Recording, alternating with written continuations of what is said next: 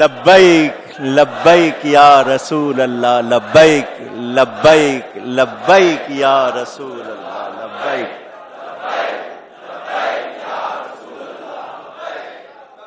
क्या कहेंगे इनके गुलाम? जिधर जाओगे, क्या कहेंगे? करूँ तेरे नाम पे जा फिदा बस एक जान, दो जहाँ फिदा। दो जहाँ से भी नहीं जी भरा, करूँ क्या करोड़ो जहाँ नहीं। गली गली सुनोगे, लोग कह रहे होंगे, सबसे औलाओ, आला। सबसे औलाओ, आला हमारा नबी, सबसे बालाओ, वाला। हमारा नबी सबसे बालाओ वाला। सल्लल्लाहु अलैहि वसल्लम। ये रात शब कदर से भी ऊँची हुजूर को दी गई है। इसमें हुजूर आए हैं। हुजूर की वजह से जिसको शरफ मिला तो जो हुजूर की रात है, वो ज़्यादा अफजल है। लैलतुल कदर में फरिश्ते आते हैं। लैलतुल मीलाद में हुजूर आए हैं। फरिश्तों के आने वाली रात जब इतनी मोहतरम तो नबी के आने वाली रात कितनी मोहतरम। और शब कदर मुसलमानों को मिली है, शब मीलाद कायनात को मिली है। ये मोहब्बत की बात है हर एक की समझ में आने वाली। जिसे मेरे नबी से मोहब्बत होगी, वही समझेगा। हुजूर सल्लल्लाहु अलैहि वसल्लम, बारह रबीउल अव्वल, पीर के दिन आए। उसका नाम पीर इसलिए है कि उसमें सारी कायनात का पीर आया है।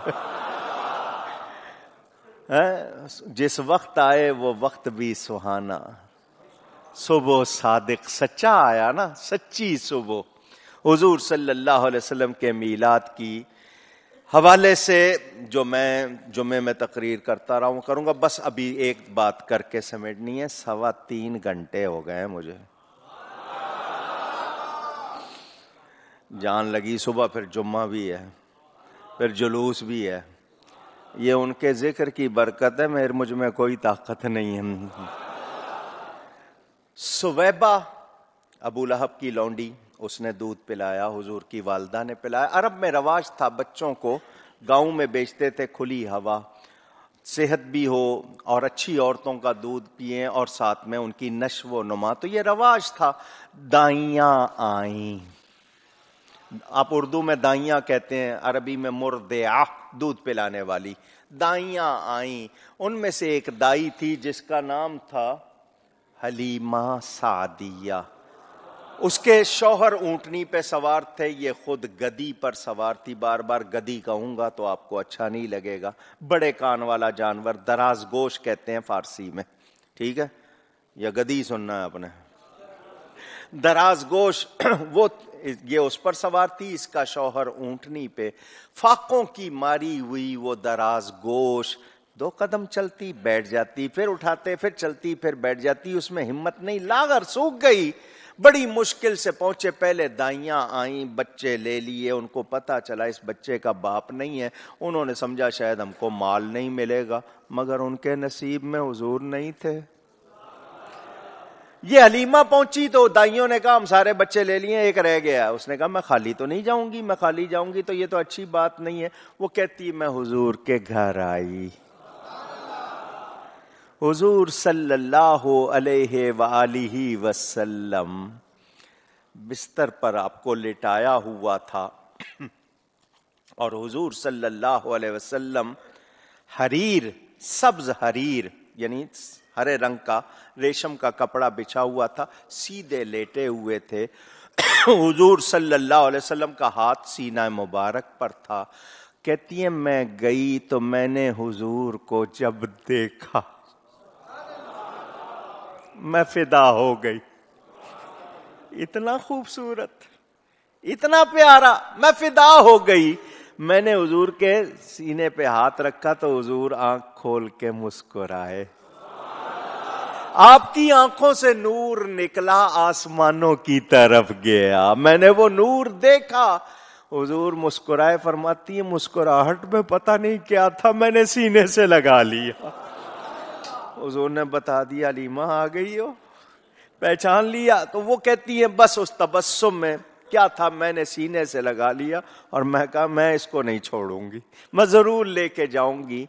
मैं खुद भी बड़ी कमज़ोर हो गई थी। मेरा अपना बच्चा दूध नहीं पी पाता था, इतना नहीं था। मैंने नबी पाक को दूध पेश किया, आपने खूब पिया। मैं हैरान कि मुझमें इतनी ताकत कहाँ से आ गई? पिला, दूसरी तरफ़ मैंने पेश किया तो हजूर ने मुँह फेर लिया। क्या मतलब है हलीमा? तेरे और भी बच्चे हैं। उनका हक है। कहती है, मैंने हजूर की वालदा से कहा, इसको रखें यहाँ, मैं अभी आती हूँ, सामान वगैरह ले लूँ, फिर मैं इसको ले जाऊँगी। वो बाहर निकली तो आगे हज़रत अब्दुल मुत्तलिब बैठे हुए, क्या नाम है? जी, हलीमा नाम है। कबीला क्या है? सादिया। साद अच्छा। हलीमी और सादत खूबियाँ दो पास हैं तेरे। इन्हीं दोनों के बाइस काम सारे रास हैं तेरे। मेरे पास एक बच्चा है पिदर जिसका नहीं ज़िंदा। मगर एक खास जलवे से है चेहरा उसका ताबिंदा। अल्लाह।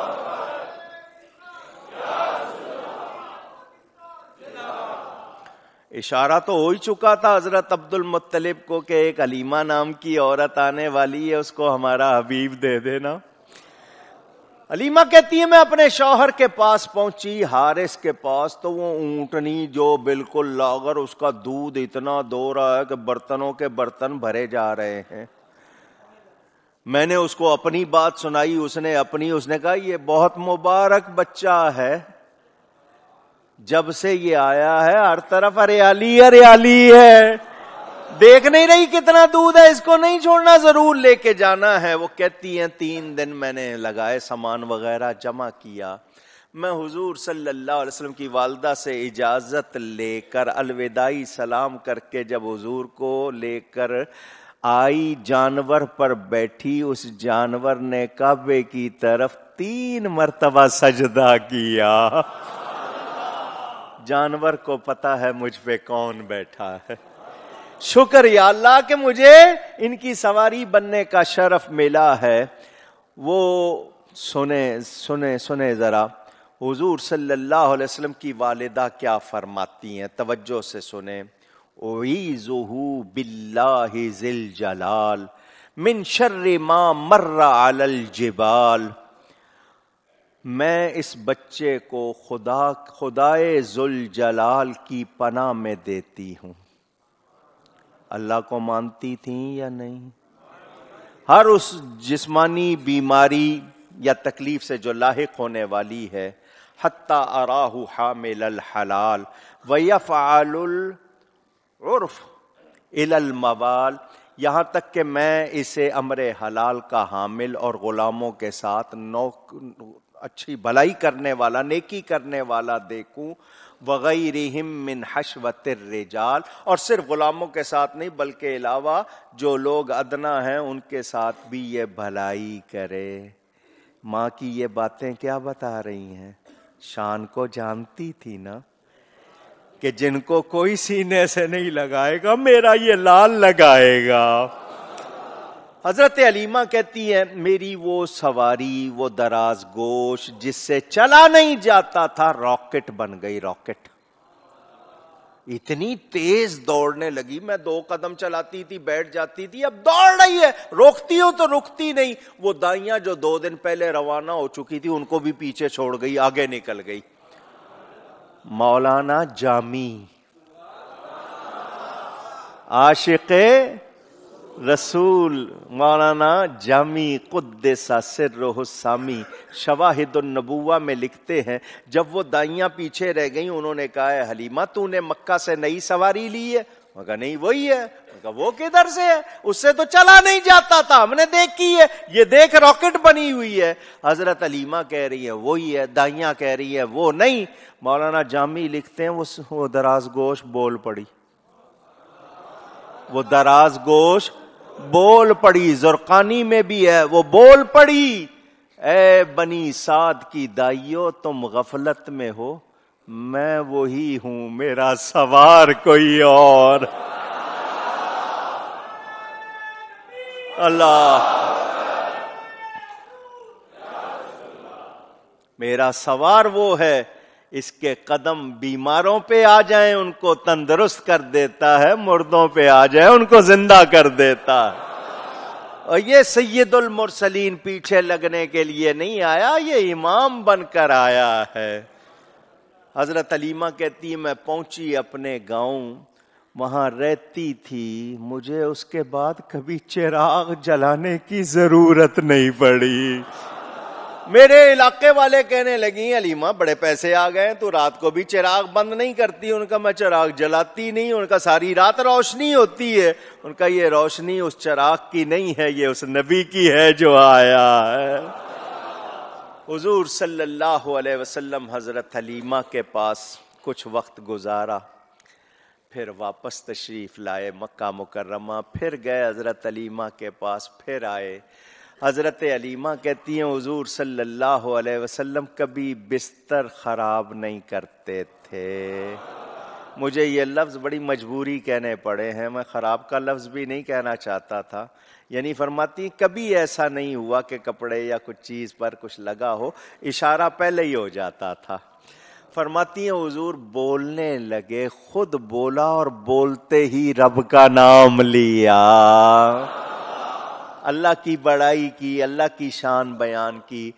हजूर, छह महीने में साल के साल में, दो साल के, दो साल में, चार साल के लगते थे। उठान बड़ी प्यारी। मेरी बेटी और मेरा बेटा बकरियाँ लेके जाते थे। हजूर ने कहा, अम्मा, मुझे भी इजाज़त दो। मैं घर में बैठा रहता हूँ, अपने बहन भाइयों के साथ जाऊँ। कहती है, मैंने इजाज़त दे दी। मेरी बेटी ने भी कहा, इसको हमारे साथ भेजो। पहले दिन जब गए थोड़ी देर के बाद मेरा बेटा भी और बेटी भागते हुए आए। अम्मा हमारे कुरैशी भाई पर धूप नहीं पड़ती, बादल साया करते हैं। अम्मा, जिस बकरी को कोई तकलीफ़ होती है, ये उसके पास आ जाती, ये हाथ फेरता, वो नाचने लग जाती है। हमने देखा सारी बकरियाँ इसके इर्द गिर्द दीवानी हुई फिरती हैं। वो बकरियाँ भी जानती थी, ये अल्लाह का नबी है। हजूर सल्लल्लाहु अलैहि वसल्लम की बरक़ात ज़ाहिर हुई। वाकयात बहुत बाकी हैं। सुबह जुम्मा है। इनशाला कुछ सुबह भी बयान करूँगा। मैं यहाँ गुफ्तगु समेटूँगा। वो नबी, जो नबियों के नबी हैं, वो रसूल, जो रसूलों के रसूल हैं। वो जो इस कायनात की सबसे बड़ी और सबसे आला हस्ती है, जिनकी खातिर ये कायनात बनाई, ये उनके मीलाद की रात है। उनकी विलादत की रात है। हर मोमिन खुशियाँ मना रहा है। हर तरफ़ खुशियाँ हैं, फरिश्ते भी, हूरो गिलमान भी। सब खुशियाँ मना रहे हैं। अल्लाह का शुक्र के उसने हमें भी ये तोफीक अता फरमाई है। हम उनके शायान शान कुछ नहीं कर सकते, ना हमसे हो सकता है, मगर आज हमें एक अहद करना है। उनका मीलाद मना रहे हैं, वो ना होते, हम ना होते। आज भी हम बचे हुए उनकी बरकत से। क्या हमें उनका गुलाम नहीं बनना चाहिए? ऊँची कहिए हमसे तो टोपी का बोझ नहीं उठता, दाढ़ी हमसे नहीं रखी जाती, नमाज़ नहीं पढ़ी जाती, क्या हम उनके गुलाम बन सकेंगे? आओ, आजहद करें, जिएँगे तो उनके लिए जिएँगे, मरेंगे तो उनके लिए जिए। उनके लिए मरेंगे क्योंकि जो उनके लिए मरता है, वो मर कर भी नहीं मरता। हम उनके गुलाम बनेंगे, अल्लाह के प्यारे बनेंगे, दुरूद सलाम की कसरत करेंगे। किसी बदअकीदा से कोई ताल्लुक नहीं रखेंगे। दोस्ती करेंगे तो नबी के गुलाम से करेंगे। और नबी का दोस्त नहीं है तो वो हमारा दोस्त नहीं। अल्लाह ने आलम अरवाह में महफिल मीलाद सजाई। ये उसी की यादगार। किसी को शुबा हो, मैंने पूरी किताब लिखी है इस्लाम की पहली ईद। उर्दू इंग्लिश में इंटरनेट पे भी मौजूद है। मेरे नाम का पेज है कौकब नूरानी उकाड़वी डॉट कॉम। उस पर किताबें मौजूद हैं। नहीं खरीद सकते, वहाँ पढ़ लें। वरना हार्ड कापी यहाँ से मिल जाएगी। उर्दू, इंग्लिश दोनों यहाँ से मिलती हैं। खुद पढ़ें, ताकि जेनों में कोई शक शुबा है, वो दूर हो जाए। बस याद रखना जो उनका हो जाता है फिर खुदाई उसकी हो जाती है। उनके गुलाम बनकर तो देखो, आपने अगर यहाँ पर रात गुजारनी हो, नवाफिल में, दरूद सलाम में यहाँ गुजारे। अगर आपने जाना हो, घरों को जाएँ, एक आध घंटा, दो घंटे कमर सीधी कर लें, मगर फजर से आधा घंटा पहले उठ जाना और दरूद सलाम पढ़ लेना। सारे घर वाले मिलके पढ़ लेना, बड़ी बरकत होगी। सुबह जुम्मा है, जुम्मे फ़र्ज़ पढ़ के, फजर पढ़ के सोना चाहें, सो जाइएगा, जुम्मा पढ़िएगा। जुम्मे के बाद जमात अल सुन्नत का जुलूस मेमन मस्जिद, बोल्टन मार्केट से आएगा। हम यहाँ जुम्मा पढ़ के जुलूस लेकर उस जुलूस में मिलेंगे। नश्तर पार्क में जलसा होगा। सुनियो, इकट्ठे रहना है। सोशल मीडिया पे तमाशा नहीं लगाना। एक दूसरे आलिम के खिलाफ कोई किसी बात में हिस्सा नहीं लेना। सुन्नियों को इतिहाद की ज़रूरत, आपको लड़वाने वाले बहुत हैं। उनकी चालों को समझना है, आपने हरगिज लड़ना। कोई गलत कमेंट्स देने नहीं, कोई गलत किस्म की पोस्ट फॉरवर्ड करनी नहीं। घरों में खातन जुलूस देखने नहीं निकलेंगी, घरों में रहे। वज़ू करें, पाक हों, अच्छे कपड़े पहने, खुशबू लगाएँ, बच्चों को बिठाएँ नात खानी करें, सलाम पढ़ें। नबी सबका नबी है। जिस घर में भी मीलाद होगा इन खैर होगी। अल्लाह ताला खैर आफियत से कल का दिन गुजारे। हम सब मोहब्बत से मीलाद मनाएँ और हमेशा मनाते रहें। सदाएँ दुरूदों की आती रहेंगी। मेरा सुन के दिल शाद होता रहेगा। खुदा अहले सुन्नत को आबाद रखे, मोहम्मद का मीलाद होता रहेगा। गुफ्तगु में कोई गलती हुई हो अल्लाह की बारगाह में तौबा करता हूँ। आइए मोहब्बत से